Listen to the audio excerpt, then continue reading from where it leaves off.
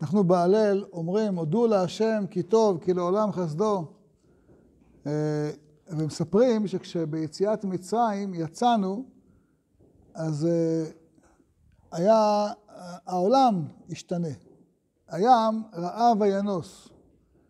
הירדן יסוב לאחור. הים פחד, ברח, נס. לעומתו, ההרים לא פחדו.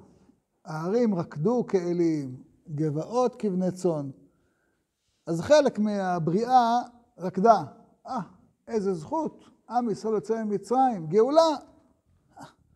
זה, בשביל זה נוצרנו, אז הם שמחים, כן? וחלק פחדו. אנחנו גם יודעים שכתוב שה... לכל בני ישראל לא יחרץ כלב לשונו. גם הכלבים היו, הרגישו. גם הם שמו לב.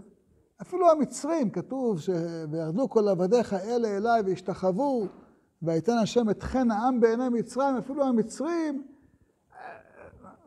קצת, בוא נאמר, הרגישו את, ה, את, ה, את גודל המעמד, כן?